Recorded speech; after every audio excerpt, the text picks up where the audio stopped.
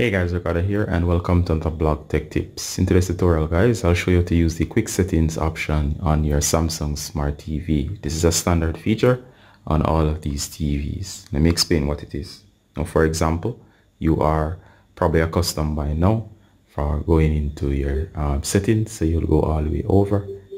So you'd come all the way over here, you notice settings and you'd go and select on your remote using the arrow keys and hit OK on settings then of course you dig deep into these settings to turn off or turn on anything that you would want to turn on or turn off by default.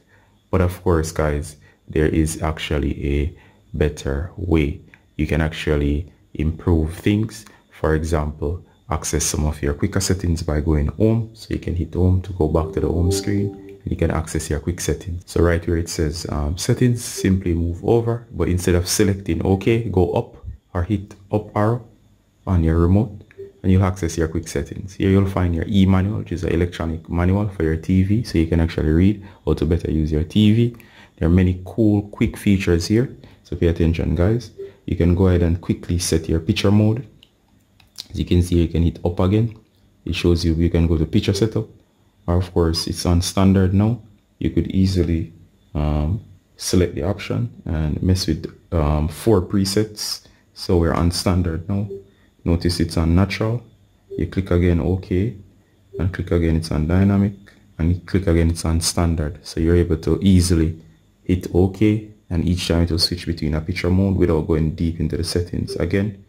Um, sound mode can be standard. If you hit ok it will go through three modes. So you can easily also access the equalizer. So this is really a quick settings to easily change stuff without digging deep into the menus. You can also go to um, TV speaker output. You can set up your Bluetooth speaker from here very quickly.